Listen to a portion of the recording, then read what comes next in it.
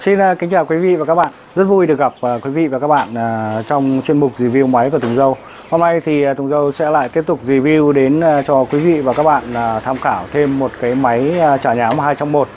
Đó là cái máy trả nhám băng và mài nhám tròn của nhãn hiệu Onwin do Trung Quốc sản xuất. Và bây giờ thì Tùng Dâu sẽ review chi tiết để cho quý vị và các bạn tham khảo cái dòng máy này. À, trước tiên thì à, chúng ta sẽ xem à, qua về cái à, động cơ của cái máy này. Về động cơ của cái máy này thì nó cũng chạy cái động cơ không chổi than, đó là motor tụ. Nó sử dụng cái nguồn điện là 220V và cái công suất của nó là 370W. Ở đây thì người ta có ghi là cái đường kính của nhắm đĩa và đây là cái thông số của cái nhắm băng. Về cái máy này thì so với cái máy trước mà Tùng Dâu đã review thì nó có những cái đặc điểm nó đã vượt trội hơn. À, về chi tiết làm cũng đẹp hơn nói chung là nhìn nó chắc chắn hơn rất là nhiều. Cái phần sắt xi sắt này nó cũng dày dày dặn và nó làm à, nhìn khá là ok.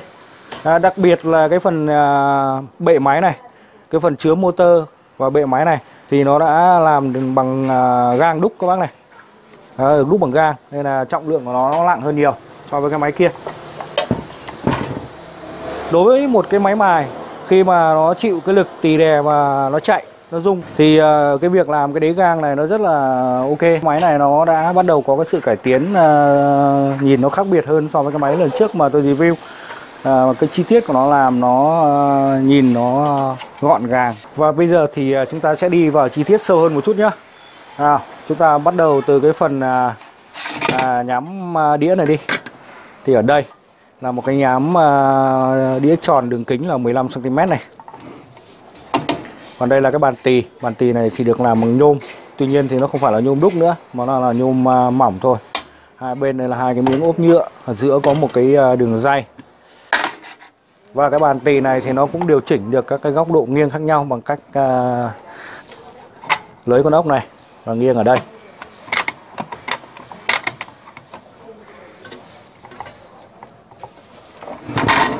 Cái đĩa nhám này thì được uh, làm bằng nhôm này cái đĩa này nó sẽ kéo trực tiếp từ ờ, trục của motor ra này.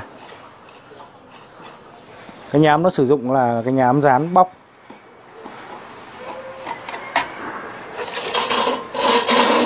Với tôi thì tôi muốn cái nhám ờ, đĩa này cái ờ, đường kính nó lớn hơn một chút nữa. Về cái phần nhám băng này thì nó cũng sử dụng cái nhám băng có cái vòng chu vi là 914 mm và cái bề rộng của nó là 100 mm à, đây là cái nút mà để thanh nhám này chúng ta sẽ à, cậy cái lấy này ra ra kéo.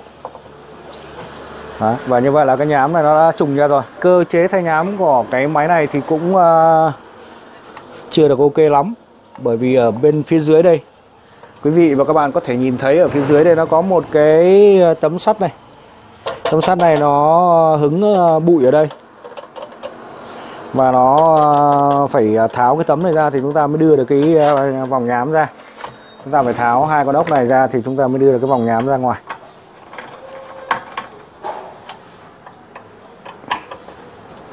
Vâng chúng ta phải lới lỏng ra và kéo về phía trước. Wow. và như vậy thì chúng ta mới đưa được cái nhám ra ngoài.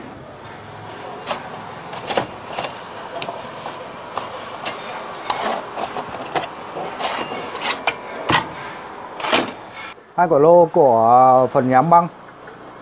Hai quả lô này thì ờ, cũng ờ, vẫn được làm bằng nhựa thôi. Vẫn là nhựa cứng. Cả quả kéo và quả phụ đều làm bằng nhựa đúc nhựa cứng. À, đây là phần tì để cho chúng ta mài phôi ở trên phía trên của cái mặt nhám băng này. À, cái phần tì này thì đã được làm bằng sắt rồi. Và một cái điểm là cái máy này nó sẽ không có cái cơ chế giống cái máy trước là chúng ta không chuyển được cái bàn tì của cái phần nhám tròn này lên trên này. Còn đây là nút điều chỉnh để cân nhám. Cân nhám vào giữa lô. Ở đây nó ốp một cái miếng nhựa. Nó làm cho cái sự khác biệt nó khác, nhìn nó cũng uh, chỉn chu hơn. Và cái máy này thì uh, nó cũng uh, có thể là dựng đứng cái phần mài nhám băng này lên được như thế này.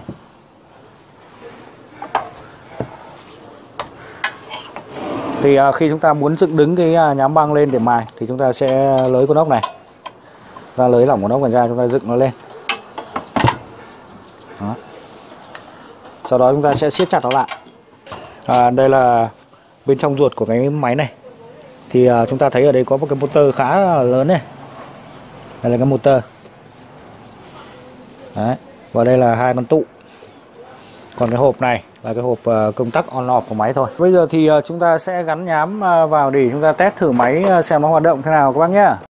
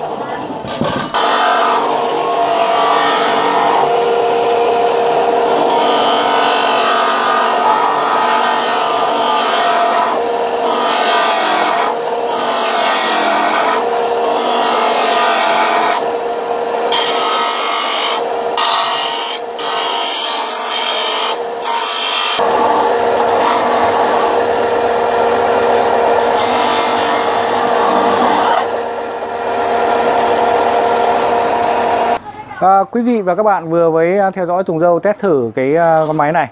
Thì chắc chắn rằng quý vị và các bạn đã thấy được cái sự khác biệt so với cái máy trước mà Tùng Dâu đã review.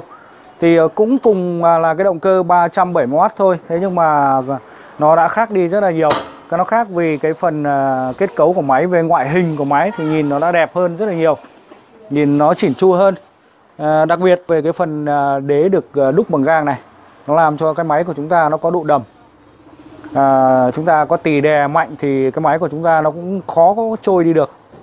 Và khi à, máy nó hoạt động thì à, nó sẽ giảm đi cái độ rung lắc. À, quý vị vừa với theo dõi Tùng Dâu review à, cái máy trà nhám 2 trong 1 à, chức năng à, trà nhám bằng và trà nhám đĩa có cái nhãn hàng à, Onwin à, do một cái à, công ty của Trung Quốc sản xuất. Tùng Dâu xin dừng cái à, video review máy ở đây. Xin chào, tạm biệt và hẹn gặp lại à, quý vị và các bạn ở các cái video sau.